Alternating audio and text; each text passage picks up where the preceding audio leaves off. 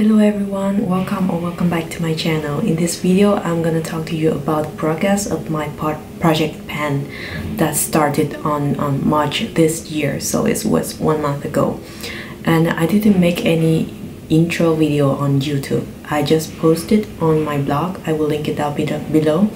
But uh, in this video, while I walk you through the progress of each product, I will tell you about the starting point of them so I have 10 products in total and there's no um, palette in that and I think I will do some pen that palette challenge and I will post it in a separate video to be easier to track on it. The first product that I have is the Dior bronzer. When I start last month it had a big dip on it already and this month it didn't have any progress on this because I didn't use it much so I will try to use it uh, next month. And you can see there's the dip right in the E and N letter.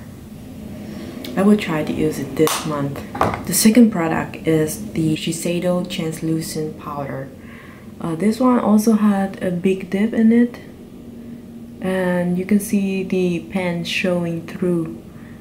And for this one I used it every day but still I didn't hit pan on it. It only has 7 gram in this and I don't know why. I, I keep using using it and I just can never finish it. I hope this month I can at least hit pan on it. The next product is um, Physician Formula Bronze Booster. When I started to do the project pan last month, this uh, we can still see the imprint really clear but uh, this month I had a big dip on this side so as you can see the imprint has faded a little bit.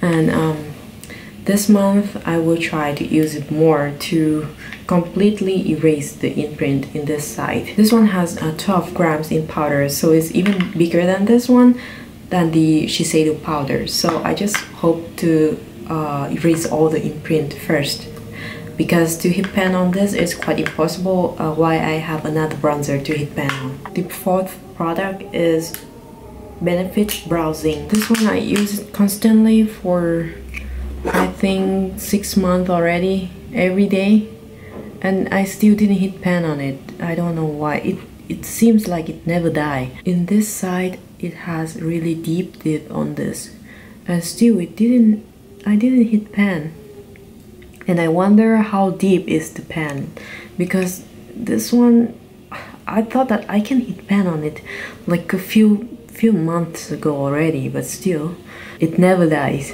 And uh, in this side it had a dip also not quite strong so I will try to use more of this powder next month and I hope next month I can hit pen on this one fifth product is the Urban Decay Naked Skin Foundation. Uh, it's a good foundation, but I bought the wrong color and the wrong undertone for me. It's too pink on my skin, so I just hope to use it up. This one is a good foundation. I have full review on my blog. I will link it down below, but I just want it to be gone because obviously the wrong color is so to use it up I just mix this with uh, the Benefit Hoola the Hoola Bronzer. It's uh, darken the foundation and also uh, give it a little bit of orange tint on it so it suits my skin better. When I started the project pen, the foundation came to the letter E and now I wanted to come to the letter K like in the middle of letter K or to the letter A for next month, for this month. April so I will try to use it. Um, this month hopefully I can use it more because uh, I just found a way to use it to mix with the other bronzer. The next product is um, the Lancome Rouge in Love. So for this lipstick when I started the project pan I tracked the length of it so it was like this and now it is like this only so I use it like halfway already. And I think this one just only five more uses and it will be gone. So I hope next month we will not see this anymore. Next product is the Rimmel Kate lipstick in 105 I tracked this one also uh, before. The length is quite long like this and now it's like this. So it's like it's shorter a little bit. Now it come to here last month I didn't use it much. This month I hope I can use it more. For it to be shortened dramatically that I can see the change in this graph. And after the video I will mark it the tracking of all the lipstick. Oh the next lipstick I have but I cannot mark it is the YSL Vernis à Lèvres so this one I cannot track it actually because um, the cream didn't calm down. Even I use it how much I use it the cream just stay there and stick to the packaging. So I cannot track I just know when I finish it that's it. But this month I didn't use it much.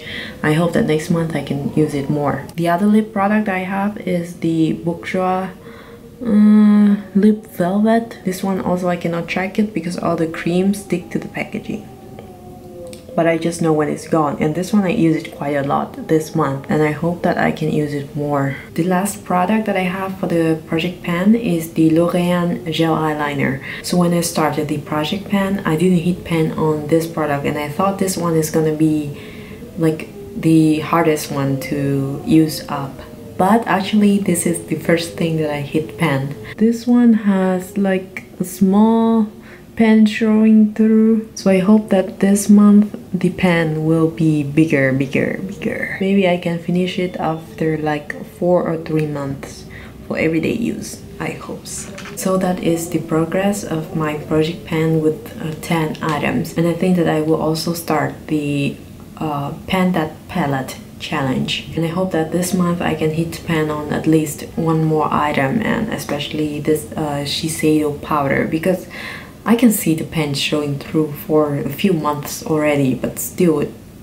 it never dies. And hope you like this video and thank you for watching. Bye